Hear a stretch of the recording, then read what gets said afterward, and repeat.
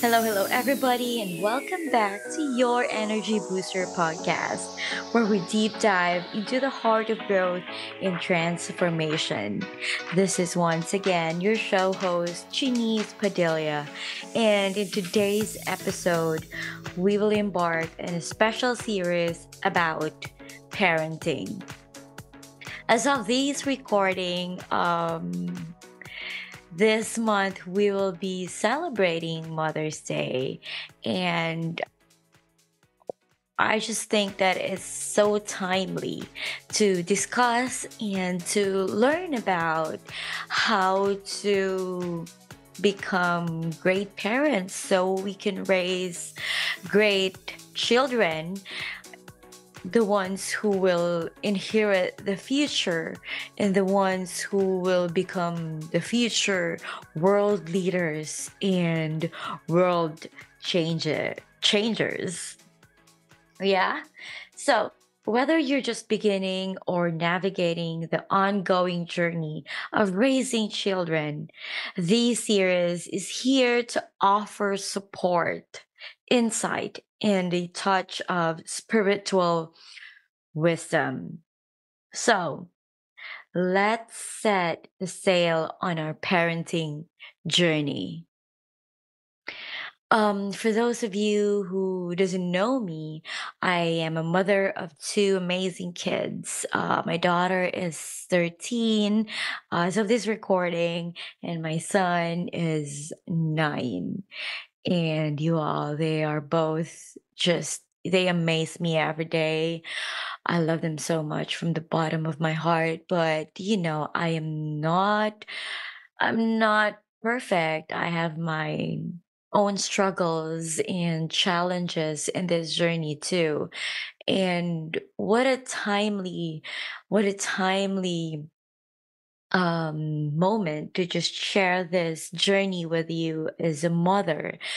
Uh, as of this recording, uh, I think, yeah, just last week, uh, I sent my kids to have their annual physicals. And, you know, uh, my daughter is 13, so she has moment she had a moment with a doctor and they are uh, all the um, interviews happened. And after that, um, I was informed that my daughter was diagnosed with depression.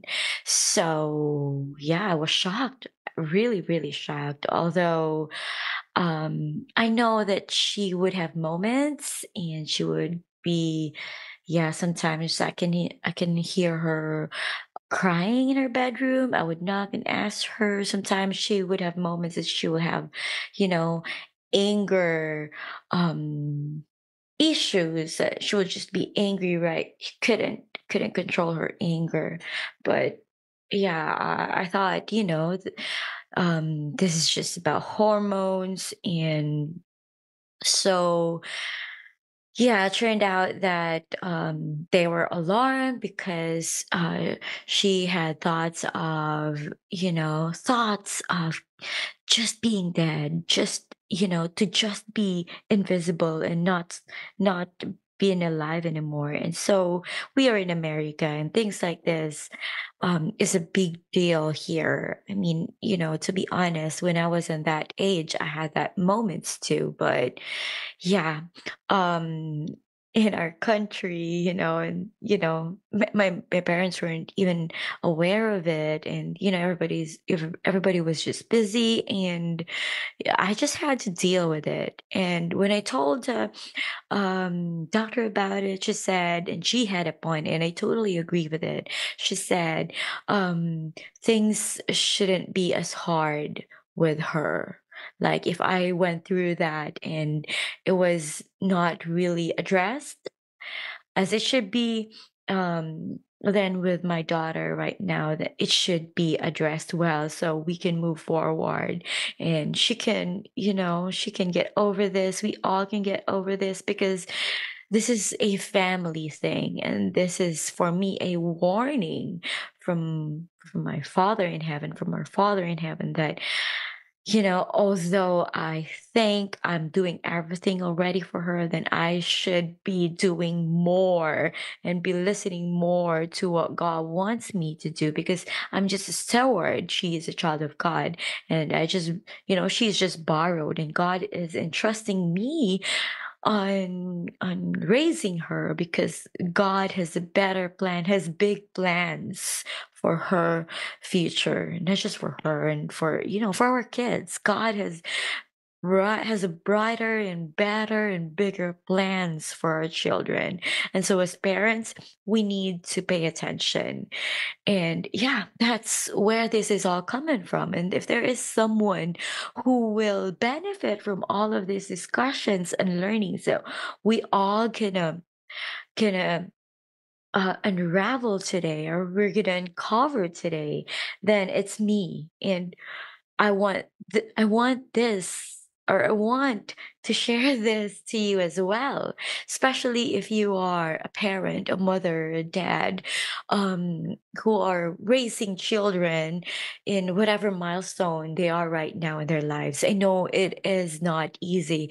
Raising children is is is very rewarding but very challenging and just one mistake we can lead them astray and we don't want it for them so yeah just sharing a little bit of where where i am coming from and so let's set the sail on our parenting journey and let's learn together so there you go parenting this profound responsibility isn't just about the basics of, of care, but guiding a new soul. When you look at your child's eye, that's a soul. In, there's a soul inside it, a soul that's helpless, that's fragile, that's amazing and beautiful. And the soul, you know, we need to guide the soul, you know, through the com- complexities. Life is full of conflicts. It's complex, not simple. It's it's hard, y'all. Okay? So, Today we start with foundational truths and how and how to prepare ourselves for this incredible journey supported by, of course, the scriptural wisdom and real life coaching. Remember, I'm not just coaching you in here, I'm coaching myself as well. And let's do it all together, okay? And let's all base this in the Bible because that's our manual, that's our user's manual, that's where we should we should yeah, that's where we should go when we have questions because that's the guide. That's our guide and how to live life according to how we are designed or made by our creator. And so let's begin. Let's do this, okay? So in the Bible, we find numerous um, stories of parenting, right? Each filled with its own challenges and triumphs. So, take, for example, the story of Jochebed. You know her? She's the mother of Moses. Yeah, she was the one who raised the famous leader of, uh, of yeah, of Israelites to deliver them from slavery to the promised land. It was a big task, y'all. So, yeah. If our kids will have, if we see our kids having great futures ahead of them, then yeah, that future, y'all, lies on us. If you want to raise great children, we need to be great parents and we need to be a great person first. And that's that's big. I know. So her faith led her to protect her son against all odds because they're they're killing all the boys all the baby boys during that time. So yeah she placed him in a basket on the nile. What a risk right? Like what a risk. But i know her faith was so big and he trusted and she trusted god god will protect the baby because god has had a bigger plan for this child. So she did that. And here we see the depths of parents' love and the trust in God's greater plan, which is essential. You know, it is an essential anchor for all parents. That was a big move, right? To, in order to protect her child, she had to let him go and trust God for protection. And sometimes it's so hard as a parents as parents to do that because we want to be in control. We forget that that child is from God. And so we really have nothing to worry about but to entrust them to God for safety and protection. And so we have to surrender, surrender them to God, surrender our parenting to God. Because if it's just us, oh, it will be a disaster. It was just me. I'm, I'm, I'm broken. I'm, uh, uh, yeah. It's just like, yeah. If I see myself, if it's just me making decisions and making reactions from what my children will throw at me, oh, it's always a disaster. But when I ask ask God for for for guidance and for just you know working in my life and how I get I'm gonna react to all this, you know, ever whatever my kids are throwing me, then I know that it's for the good. I know that I, I'm a better person when I let God do that for me. Yeah. I I I can't do it my way. I can't do it all by myself. I have to entrust his parenting journey to have to anchor to God and let his power work on me and not my own. Okay? So like yeah, I hope I hope you can relate to that too because uh, it's not just all about me. I'm sharing this journey to you so we can all both grow and become great parents so we can, yeah, can raise better children's and, you know, better future for them. And yeah, by, by faith, Moses' parents hid him for three months after he was born because they saw that he was no ordinary child. Our children, they're not ordinary. They're God's children. I'm just trying to remind you of that. And I'm also reminding myself, okay? And they were not afraid of the king's edicts. There's no fear. If we believe that God is with us, what is it that enemy can throw at us? Yep. Greater is he that that is in us than he that is in the world. So there's no fear. And that's, you know, in Hebrews 11:23. From Jochebed's story, we draw our first lesson in parenting. The power the power of faith and protection. As we set the sail on our journey, how can we create a protective and nurturing environment for our children while trusting in God's guidance? That'd be a very good question that we can ask ourselves.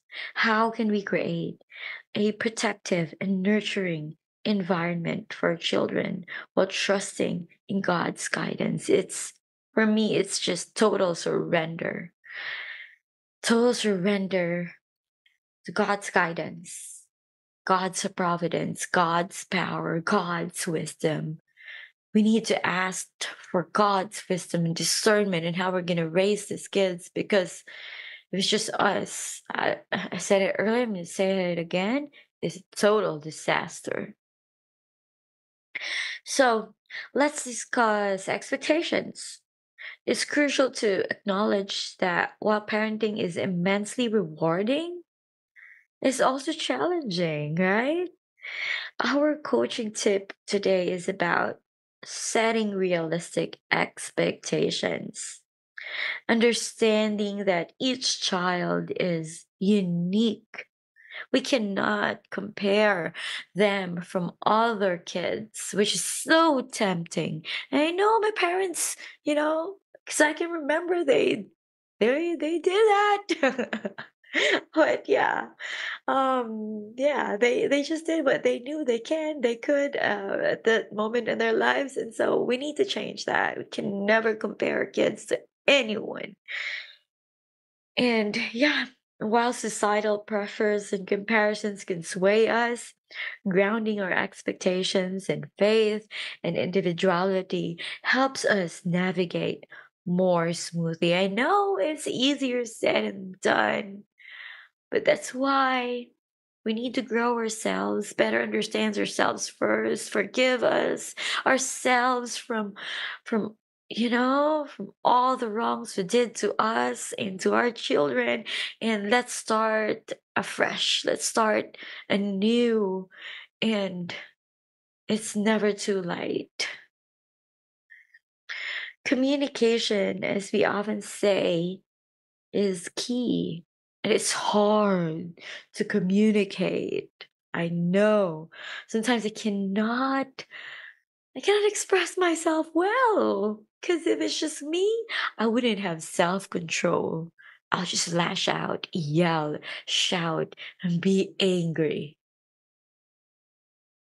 But that's just me. Yeah? So I needed to anchor to God every minute of the day. Because I am weak, but with God's power, I am strong. And you too. You are strong. You have God's power. When you anchor your life, your journey, and you surrender yourself to His divine command. Psalms 19 14 says, Let our words and thoughts be pleasing to God as we speak with our children our communication should reflect not just our love and discipline, but also a respect for their thoughts and feelings, paving the way for honest and open interactions. I know it's hard. So it takes practice, it takes a habit, it takes a lot of prayer, takes a lot of growing. And let's not give up on our children. Because I know we can give up on a lot of things, but not on our children. Because they are. They are from God. And God has entrusted us to care for them. So, yeah. We can never give up on them. We need to move forward and keep on growing in love and faith and respect and trust and discipline for the sake of our children's sanity. Psalms 19:14 says, May these words of my mouth and this medita- meditation of my heart be pleasing in your sight, Lord, my rock and my redeemer. This brings us to the importance of community. We could never do it all by ourselves. We need we need a tribe to help us navigate through deep waters of parenting like Moses, who was supported not by not only his family but also the daughter of Pharaoh. We too need a community, family, friends, church members, and educators, you know, coaches, mentors. They can all be a part of the support system that help us, helps us and our children to thrive. As we close today's episode, remember setting a sail or setting the sail is just the beginning. Each day in parenting is a new opportunity to lead with faith, hope, and love. Be gentle with yourself and trust in the journey. So, join me again next time for the next episode on these series on navigating this navigating the deep waters of parenting. Next, we will be talking about anchoring stability, which is building consistency in the tides of change. We will explore how creating a stable environment helps our children and us grow in faith and character. Until then, keep your sails set and your compass true. You've been listening to your Energy Booster podcast. If you found today's episode enriching, please subscribe and follow me in all my social media platforms. And feel free to share it with your fellow parents on this journey, divine journey of parenting. Stay tuned and stay inspired. I love you and God bless. Bye for now.